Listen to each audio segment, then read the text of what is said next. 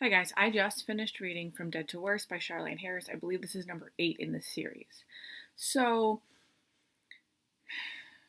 I didn't really like this book. I think so far this is my least favorite out of all of them. Putting aside the regular problems that I have with everything, I felt like this book was filler. Like it really did not progress the story too much. But in a way, it kind of um, was a cheap way of progressing the story too fast, if that makes any sense.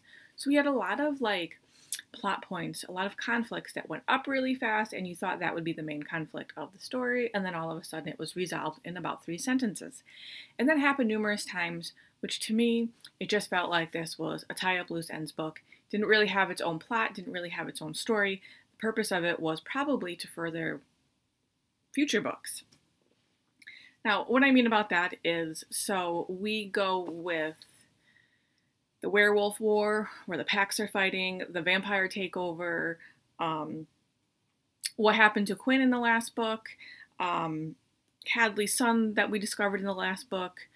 Uh, we have progression of Arlene being a bigger asshole.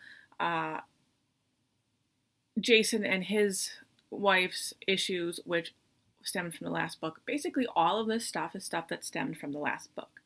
And this was just kind of let me tie up loose ends. So when I start the next book, we can start fresh with a new story.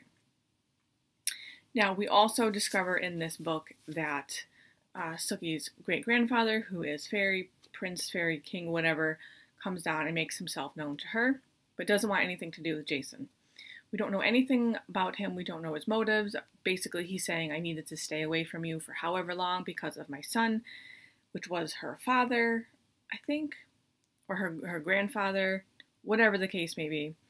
Um, we're still working on the Eric and Sookie blood bond, and yeah, so it just felt like a lot of quickly tying up loose ends, and this book really didn't have its own plot.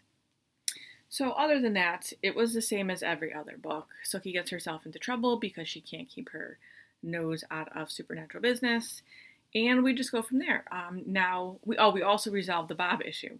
So everything that was kind of hanging loose in the last few books wrapped up neatly in this book.